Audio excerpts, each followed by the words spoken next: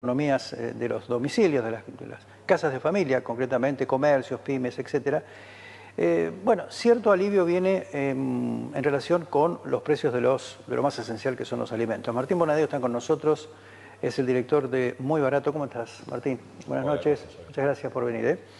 Bueno, y, tu empresa firmó un convenio con respecto a los precios que me gustaría que, contaras un poquito más en detalle de qué se trató. En estos días fuimos invitados por las autoridades de, la Secretaría de Comercio de la provincia a adherirnos a un plan que tiene en la provincia de precios, y no, es ni cuidados, ni corajudos, ni nada, es precios Santa Fe, precios santafesinos. Santafesinos, sí. Este, bueno, que significa adherirnos a, una, a un compromiso de no aumentar los precios por unos 90 días eh, por encima de ciertos límites.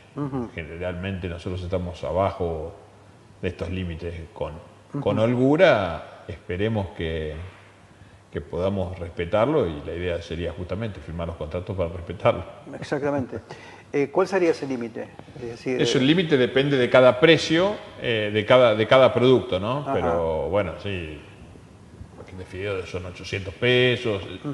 Este, no recuerdo, la leche creo que es mil pesos y, tiene como una lista que está en una página web que se llama Precios Santafesinos y ahí se pueden chequear los precios a los cuales nos comprometimos.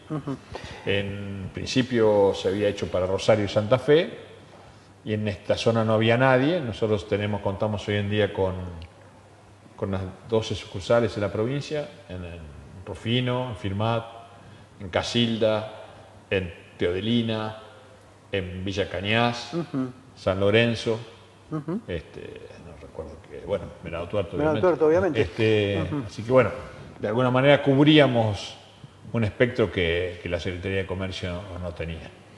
Antes de llegar a esto, Martín, ¿cómo notaste vos el, devenir económico en tu, en tu comercio? Y nosotros notamos en noviembre y diciembre, bueno, lo que notó todo el mundo, un aumento grande en los productos nuestros eh, diciembre fue un, fue un aumento de un 45% de los productos básicos.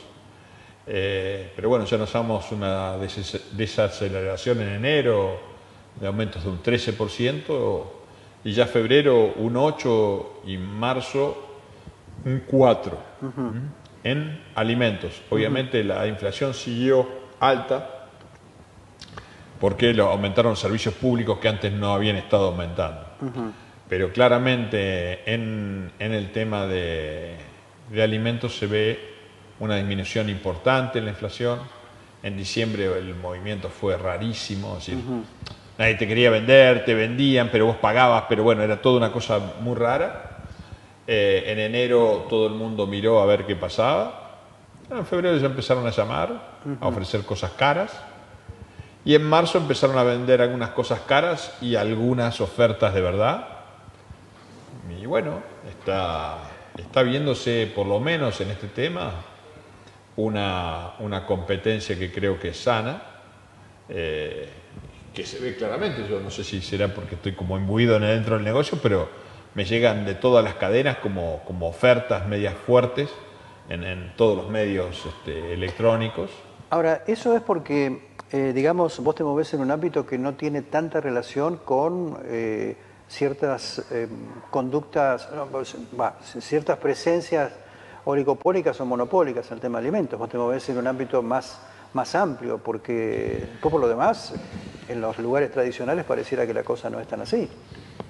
Bueno, eh, en principio está viendo, está empezando a haber una disputa eh, entre, bueno, entre nosotros que somos los que llevamos los productos al, consumidor final y aquellos que lo producen, ¿no? Entonces uno nota que inclusive es una, cuestión mundial, no sé si, bueno, voy a estar en el tema, pero hay un conflicto, por ejemplo, entre PepsiCo y Carrefour a nivel mundial, entre Francia, España, qué sé yo, donde se negaron a aceptar este, los precios de, esta gente y se negaron las cadenas.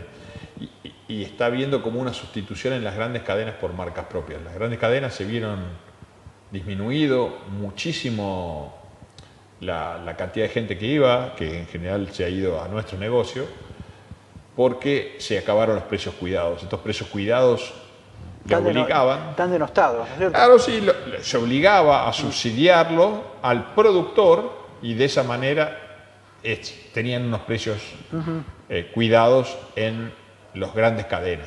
Estas cadenas accedían mientras que pequeños almaceneros u otras cadenas nosotros no podíamos acceder. Solo accedían las grandes cadenas y solo las grandes marcas. Es decir, no, no, había un pequeño productor de media luna de firma. Claro, exactamente. Este, bueno, eso al cortarse, los precios en los supermercados se vieron aumentados mucho más que en, la, que en, los, que en nuestros negocios, ¿no? Claro. Eh, entonces el impacto fue mucho mayor a nivel de la gente. Yo creo que el impacto se notó y la gente empezó a buscar otras, otras alternativas y bueno, están bajando los precios de algunas cosas. De lo que yo me acuerdo últimamente, el azúcar, el azúcar. es una de las cosas que, que está bajando, llega a estar a mil pesos al público y está en 700 pesos, pero está ofertada, digamos, llaman para venderte azúcar. Eh, el aceite, por ejemplo, se está, se está vendiendo, hay otros productos que no. Eh, no, sé cómo. El otro día estaba viendo una encuesta que se hizo en, Buenos Aires, en la ciudad de Buenos Aires, en donde se demostró que em, ante la escalada de los precios se accedía a segundas y hasta terceras marcas, pero que además la gente, al preguntársele, decía, mm, no solamente la compro porque es más barata, sino porque confío en que el producto es de por lo menos equivalente calidad a uno de primera marca que sale el 40% más, ¿no?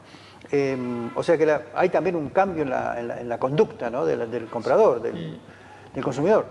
Sí, y si bien nosotros estamos inmersos en un, en un, problema puntual, ¿no? La Argentina tiene un, problema puntual. Eh, también lo que nos está pasando en política tampoco es tan puntual, ¿no? Si uno mira en el mundo hay otros políticos que tienen una política similar, el caso de Vox en España, el caso del húngaro, el caso del mm. brasilero con Bolsonaro. Y en el tema también de los consumos masivos, como te explicaba recién lo de PepsiCo y Carrefour, también hay fenómenos que son mundiales. Hoy hay un porcentaje grande a nivel mundial que compra el más barato. Compra el producto más barato y se anima a probar otras marcas. Eso también es lo otro que pasa. Normalmente uno consumía determinada marca de por vida. Exactamente. Esta leche es la que consumo yo y es la que me daba mi mamá y es la... Sí, sí, sí. Hoy en día, bueno, esto vale un 40% más, pruebo la otra. ¿eh? Y en muchos casos esa prueba está como, como que voy a decir, ¿por qué voy a pagar el 40% más si es la misma mercadería? Y en general, en general, es la misma mercadería. Eh, yo, he sido productor de alimentos y bueno, vos posicionás, depende el mercado al que vas, este, y, y en eso ves cuál es el precio. El caso más conocido es el caso de una empresa de, aquí, de, cerca de, Rosario, que hace enlatados. Ajá. Ellos hacen enlatados y los enlatados son los mismos. Tienen 75 marcas. Y yo me he fijado, en esto hay un secreto, un secreto, pero bueno, mm. cada fábrica tiene una cosa llamada RNE, el Registro Nacional de Empresas. Para una empresa es muy difícil elaborar dos o tres calidades, digamos, pero entonces ellos tienen, yo he ido a la fábrica, tienen galpones, galpones de latas sin la etiqueta. Entonces me voy y le decís, bueno, pistrito pis, arvejas pistrito, va, muy bien. Y me hacen a mí. Bueno, ahí Bonadeo, la gran arveja, bueno, y le hacemos la... Y es interesante ir a algunos este, supermercados masivos y encontrarse que ese René, que es la misma lata, vale un 60 o un 70% más entre una marca y la otra. Generalmente el referente está abajo, ¿eh? que ese va a ser el más bajo, y el que quiere que compre está a la altura de los ojos. Entonces, yo le, comento a cierto televidente un ejercicio de fijarse en la lata de, de, arveja, por ejemplo, porque mm. no hay tantos fabricantes de hojalata en Argentina que miren abajo y arriba si el RN es el mismo. Compren una lata de cada uno, fíjense la diferencia de precio, abran las dos. Yo, bueno, soy medio... Bueno, claro. pero sí, y hagan la, hagan la prueba. Hay un, hay un lugar en una página que se llama ¿Quién lo fabrica? Y ahí van a poder ver también lo que les estoy diciendo, que es eso, el puré de, de tomate. De, no, no, de, papa. Ah, el, puré, el mismo fabricante que nos hace a nosotros una, Lafken se llama una marca absolutamente desconocida, le hace a todas las primeras marcas, le hace a McKay, la misma mercadería porque es muy complejo de hacer. El fideo nosotros vendemos un fideo sol pampeano, fenómeno. Es la misma fábrica que le hace a Nor. Y miren el RNE nuestro, miren los dos, comparen los dos, mezclenlo y van a ver que no hay ninguna diferencia. Y van a ver que uno cuesta el doble que el otro. Entonces muchas veces esa cosa que, bueno, obviamente hay que pagar la propaganda, hay que pagarle a Tinelli, hay que pagarle mm. a, todo esto, la propaganda que te hace Unilever acá. Exactamente. acá. Este, para, ver la diferencia, ¿no? Eh, también, Martín, te pregunto, eh, en otros países, Francia, Inglaterra, hay un límite en la ganancia.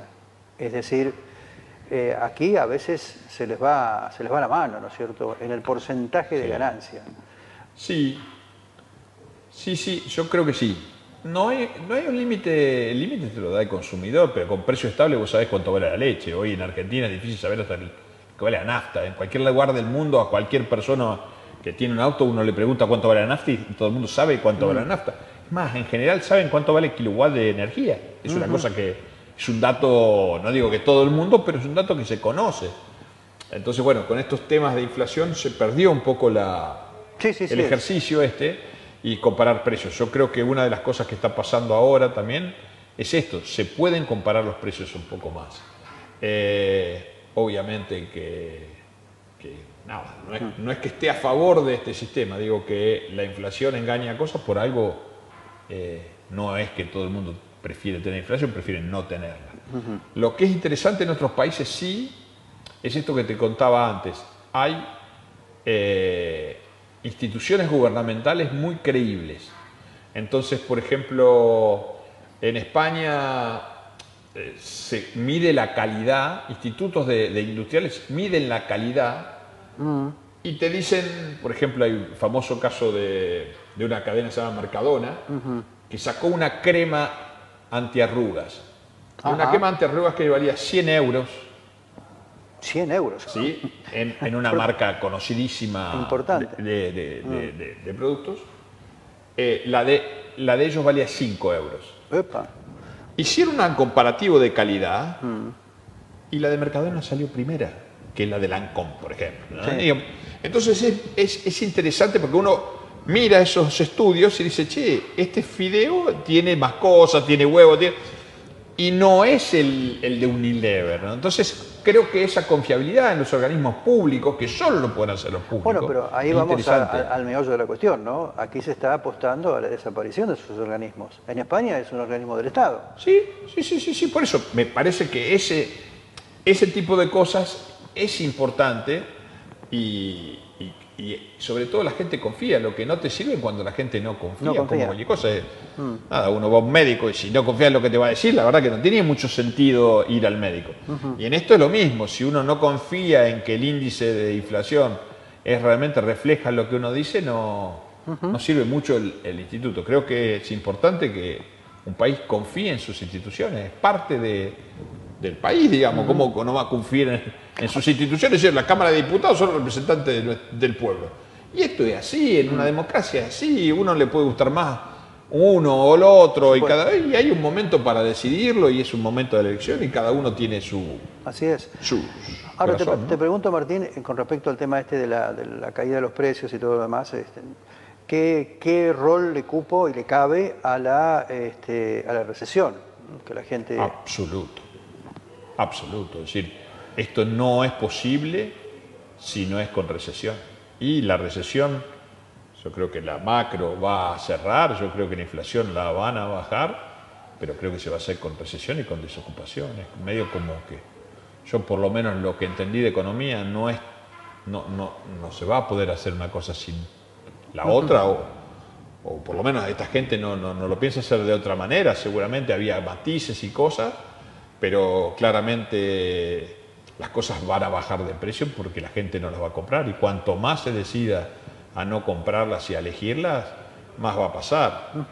También es cierto que en cualquier lugar del mundo existen leyes anti-oligopolio y antitrust, digamos, eh, que en Argentina no han funcionado cuando existe el libre mercado. Es decir, hay 75 molinos harineros pero no. ¿Cuánto, ¿cuánto tardan en juntarse los 20 o los 30 y ponerse de acuerdo en un precio? Cuando uno dice, che, entró carne barata de Brasil Mm. de, de cerdo. ¿Y cómo es? O de Bélgica, o así como los belgas tienen, tienen que importar el maíz, tienen un frío bárbaro, tienen que ponerle gas, tienen, no tienen gas, tienen que calefaccionar los cerdos. ¿Cómo llega un- una tonelada más barata acá de, de cerdo? Bueno, ellos dicen, el mercado mío interno, yo no lo reviento, es decir, no bajo el precio como sería lo lógico, sino lo exporto. Entonces, ellos siguen ganando en su mercado interno y afuera no les importa eso, al valor marginal que va. Le poné un poco técnico la, la- la No, no, historia, pero, es pero, completamente comprensible. pero es así. Es decir, ellos dicen, no sé, en Argentina, no es un ejemplo de lo mío, pero bueno, yo también soy metalúrgico. Mm. La chapa argentina es más barata comprarla en Brasil que, que comprarla en Argentina. Claro. Eh, porque como él está protegido, está aquí, hay aranceles para hacer lo demás, él en este mercado lo vende más caro porque puede, en el mercado exterior lo vende más barato porque tiene que competir.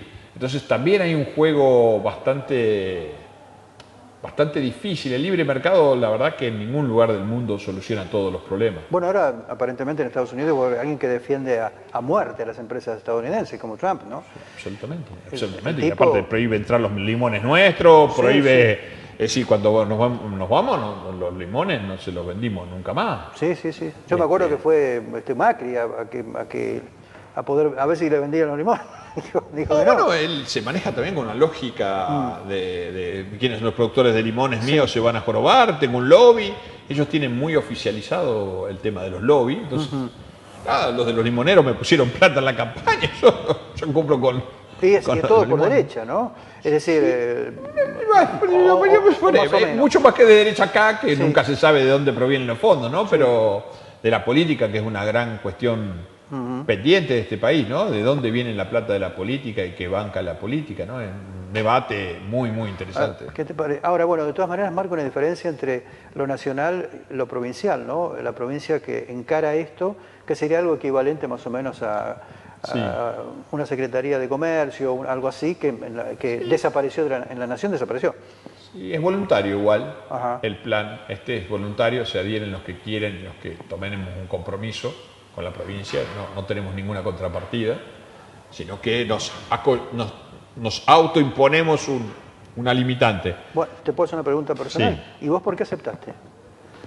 A mí me parece que, que puede servir para, para tener un límite de precios para, para todos. O sea, también me parece que muchas, muchas iniciativas se quedan en Rosario y en, Sí, es verdad. y en Santa Fe. En Santa me Fe. parece que, viste, había firmado Rosario, Santa Fe, Rafaela. Dice, otra vez, muchachos, estamos igual. Parece que el gobernador está a 30 kilómetros, pero otra vez estábamos con, con este tema este, en, en- en- en- en boga. Digo, bueno, la verdad que Venado Tuerto y la región eh, tenemos un desarrollo, bueno, nos comprometemos a esto. Mm. Eh, 90 días. Sí, yo tengo la esperanza de que, de que los precios a, a este nivel van a, Mm. Eso tengo, tengo gran fe en eso. Como tengo mucho miedo a, a la desocupación, mucho miedo a la recesión. Eh, Ya se está viendo acá, ¿no?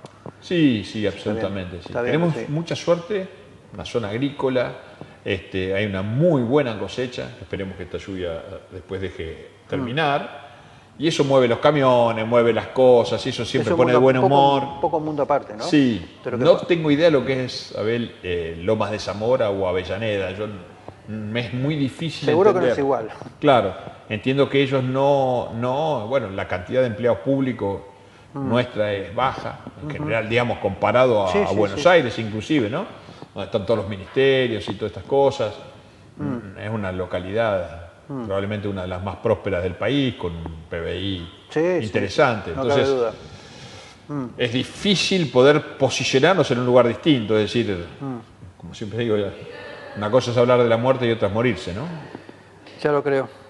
Martín, como siempre te agradezco que hayas venido, este, poder eh, charlar de, estas, de estos temas. ¿no? Así que bueno, no, por 90 días, allí es muy barato, este, está esta, esta posibilidad. Gracias otra vez, Martín. ¿eh? Nosotros nos vamos, mañana, si Dios quiere, a las 20 estamos aquí otra vez. No se vayan, llega Noticias en HD con Emanuel Fuertes. Hasta mañana. Una producción de Multimedio GS